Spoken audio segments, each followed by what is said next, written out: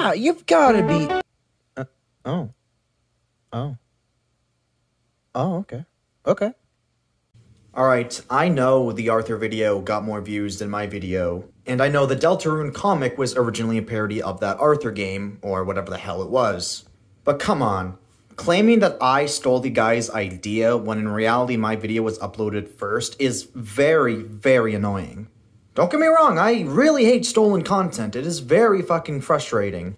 But when people don't look at the description, especially the date of publish, and just make an assumption that I stole the idea when I originally came up, well, not originally came up with the idea, but I originally uploaded it first, that is very annoying. And it is honestly really, really shameful because it really discourages me from doing actual content and getting my voice acting into effect. I would love to make more voice acting and comic dub videos on this channel, even though I'm really moving channels and this channel is practically dead. But seeing shit like that really discourages me, and this is really going to be the last you gotta be kidding me video that you're ever gonna see on this channel because you guys keep fucking spamming me like, oh, I stole it, oh, you stole the idea. Like, holy shit, bro, shut up. Anyways, besides all that, that's really all I had to say. Um, moving channels, you can check it out if you fucking want. I'm not gonna force anybody to check it out.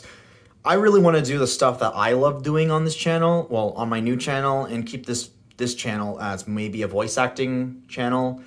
If I even continue on this channel, if it stays up, well, it will stay up, but I don't know how long it's gonna be.